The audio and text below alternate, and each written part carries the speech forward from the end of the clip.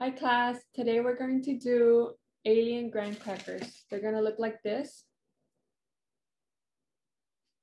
So the ingredients we will need are marshmallows, the smaller ones, the mini marshmallows, graham crackers, um, chocolate frosting, green frosting, or I colored my white frosting green.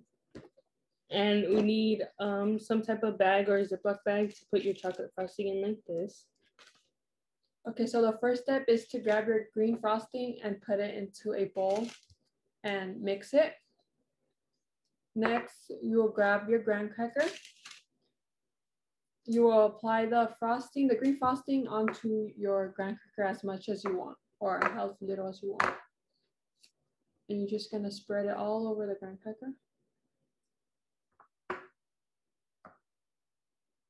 So once you have your graham cracker filled with green frosting, it's gonna look like this.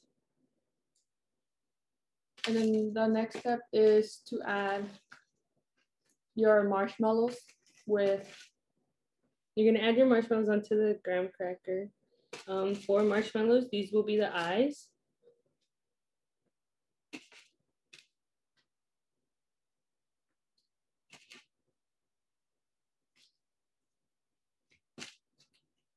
And next, you're going to get your frosting that's in a bag and squeeze some in the middle of the marshmallow.